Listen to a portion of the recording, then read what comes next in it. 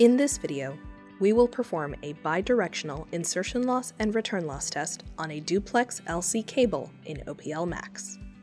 Before we begin testing, we must prepare the equipment. This test setup calls for the OP940 insertion loss and return loss meter and the OP721 bidirectional optical switch. Both units must be connected to power and to the computer through USB. Next, the units must be connected to each other. The source and detector of the OP940 connect to the source and output ports of the OP721.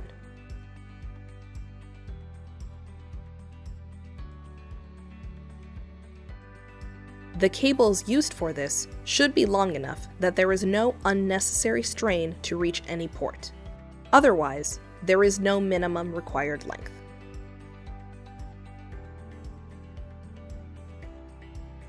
With the units connected to each other, the reference cables are now connected to the switch. This OP721 is 24 channel, meaning that there are 24 channels available in each direction, for a total of 48 connectors at the front panel.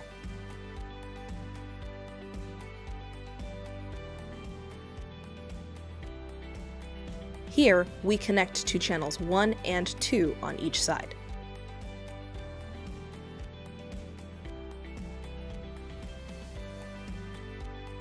By default, light emits from the left-hand side of the unit and is received by the right-hand side when the switch is set in the forward direction. Reversing the direction sets the light to emit from the right.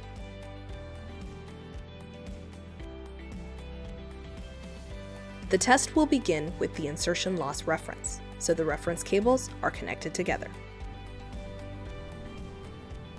Before we continue, let us address an issue that can arise when these reference cables are connected together. Within the duplex LC housing, the LC connector on the right is always the A connector, and B is on the left. A and B correspond to 1 and 2 labels on the FC side of the reference cable respectively. Connecting to the OP721 in accordance with these labels creates a problem.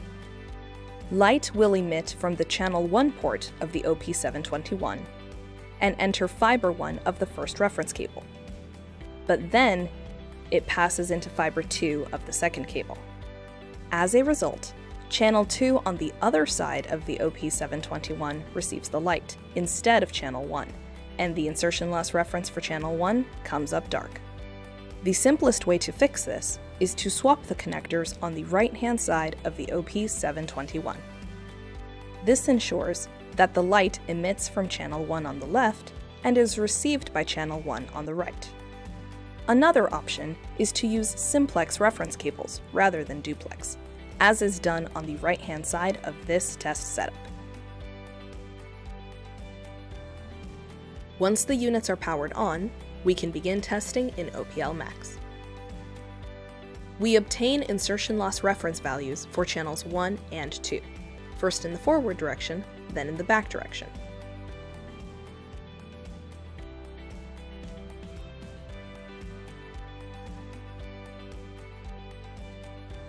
Now we disconnect the reference cables from each other before moving on to the return loss reference. This ensures that we reference to flat polish connectors that are open to air. The return loss reference is performed in the same order as the previous step. Here, we reference each channel individually, but it is possible to copy the reference from the first channel to the second in each direction. Since these are duplex cables, the reference lengths will be approximately the same.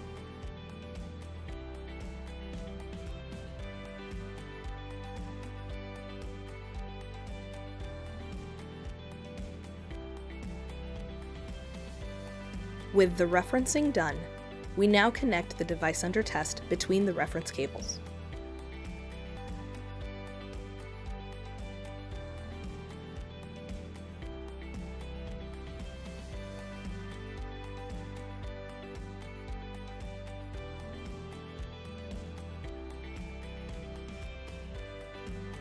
This test will produce insertion loss and return loss results in each direction. The return loss results may vary noticeably from one direction to the other, since that measurement is connector level rather than throughput. With the test complete, OPL Max produces a test report as designed by the user.